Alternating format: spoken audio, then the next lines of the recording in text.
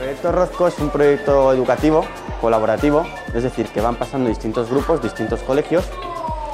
y es un proyecto que hemos lanzado este año que sigue un poco la línea que hemos ido eh, encaminando desde el museo durante estos tres años. Aprovechamos que son pequeños, que están en crecimiento, para familiarizarles con el arte y para crear así bueno, pues una, familiaridad, y que empiecen a eh, activar su capacidad de creatividad. Tercer año que, participamos en esta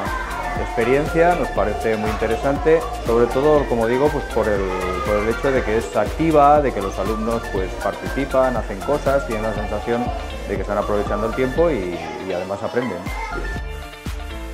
Sus cuadros eran como abstractos, pero si te fijabas bien, si estabas unos minutos mirándolo, podías ver otras cosas. Aprendemos a, con la imaginación, aprendemos a tener imaginación y aprender nuevas cosas. La verdad que me ha parecido, al principio cuando he visto ese cuadro me quedo como, pues vaya cuadro, si son dos rectángulos, pero luego cuando nos han ido explicando ya he entendido el porqué y pues ya me ha gustado la forma que pintaba y pues